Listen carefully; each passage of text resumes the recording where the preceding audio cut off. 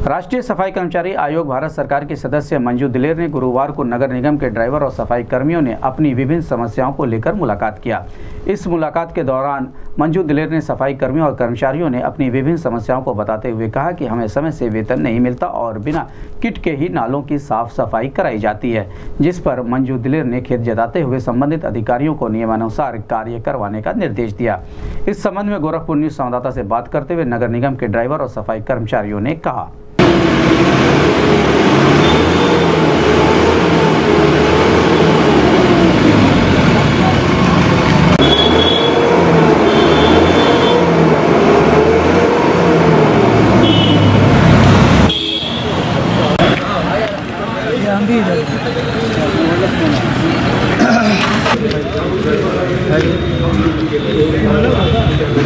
हम भी आ जाए हेलो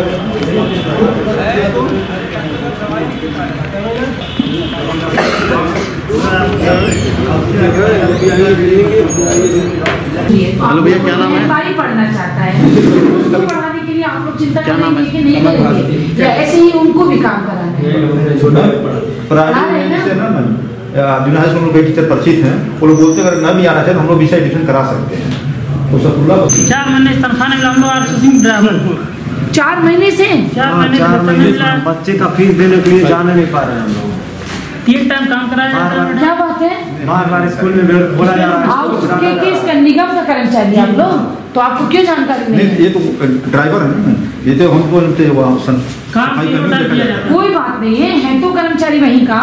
चाहे ड्राइवर हो या सफ़ाई कर्मचारी हो अभी हम लोग तो चार महीने का वेतन तो ऐसे हाँ? ऐसे। ऐसे कॉन्ट्रेक्टर को निकाल के बाहर खड़ा करिए ना। स्कूल से बच्चों को निकाला जा रहा है ये सब कौन देखेगा उनका? इधर उधर से काम कर मिला सुबह से शाम तक काम करना ये आप तुरंत करा दीजिए। कितने लोग हैं आप? हम लोग तीन लोग। एक सौ पैंतीस ड्राइवर है। तो आप इनका कराइए ना तुरंत। भी वो तो साल खराब हो जाएगा उनका। है दोपहर बाद भी काम कराया जाता है फिर रात में भी काम कराया जाता है तीन तीन शिफ्ट लिया जाता है ड्राइवरों से काम। तो मंथली नहीं तुरंत इसको। तुरंत कराइए इनका वेतन मुझे करने के बाद आप बताएँगे। ठीक है?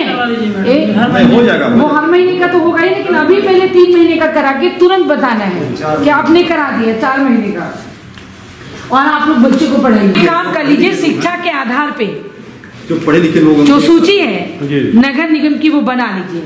शिक्षित कर्मचारियों का सूची बना लीजिए शिक्षा प्लस सीनियरिटी वो सूची बनाकर एक बार हमको उपलब्ध करा दीजिए। पता तो रहे कौन कितना पढ़ा लिखा है कौन कहाँ कैसे काम कर रहा है।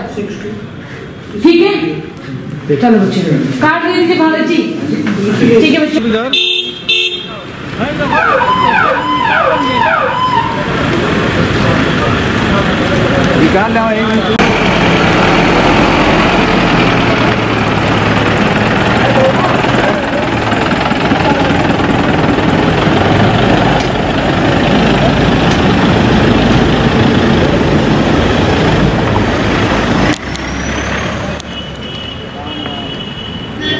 मोहम्मद आरिफ।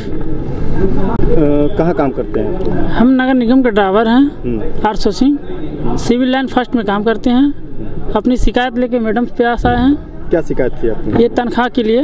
तनख्वाह हमको चार महीने से मिली नहीं है। मैडम बोली कि एक हफ़्ते तक दिलवा देंगी। क्या लग रहा है? अब देखिए देखने मिल कितना पैसा मिलता है? हमको मिलता है अंठावन सौ। वो भी बकाया है? वो भी बकाया है। टाइम से मिलता नहीं है। चार महीने के बाद छः महीने के बाद पूरी साल का ही है। कोई नियम नहीं है। मेरा नाम कमल भारती है, मेरा वार्ड नंबर पैंतीस है। मैं नगर निगम का कर्मचारी हूँ, इसमें काम करता हूँ, मैं बीए किया हूँ। और इस मैडम बोली हैं कि इस समय बैठक थी, बुलाई हैं और कही है कि पढ़ने के अनुसार काम किया जाएगा। और हम लोग का तनख्वाह बहुत कम आता है। अक्टूबर में पैंतालीस सौ पचास रुपया आया था। हम लोग शिकायत लिख गए थे वहाँ शिकायत नहीं सुना गया। और ठेकेदार साहब कहें कि ये अभी रिफंड नहीं हो पाएगा पैसा। अब बाद में दिया जाएगा। बाद में अभी तक नहीं आया फिर भी अंठावन सौ में हम लोग को छब्बीस दिन का छप्पन सौ मिलता है दो सौ सोलह रुपया के हिसाब से देते हैं ये तनख्वाह। और नाली में घुसने के लिए नहीं कहते नाली में घुसा देते हैं हमेशा पैर कट जाता है कभी का। फिर भी हम लोग कुछ कहते नहीं हैं। और देर से हमेशा तनख्वाह मिलता है। आधा महीना बीत जाता तब तनख्वाह मिलता है। अच्छा जो सफ़ाई करने के लिए जो गिलास होगा जूता तो मिलता है क्या? नहीं अभी कुछ नहीं मिला है हम लोग। बस यही ड्रेस मिला है बाकी सब अपने तरफ़ से खरीद खरीद कर हम लोग पहनते हैं। जूता भी है मास्क भी पहनते हैं ग्लव्स व्लव्स नहीं खरीदे। हैं